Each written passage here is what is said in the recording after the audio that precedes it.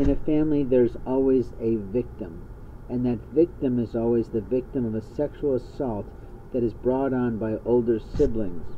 A sibling that is a hoarder of teapots always wants to have people over so that she can scold them, she can interfere with them, and she can make sure that her younger sibling, who does programs in the area of human trafficking, can figure out how police officers participate or other people participate in sexual assault.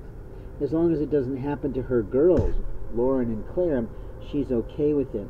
But if she's doing a scientific experiment for her children who launched it so she can determine how this is done, she decided to put up her youngest brother for the police officer's fund.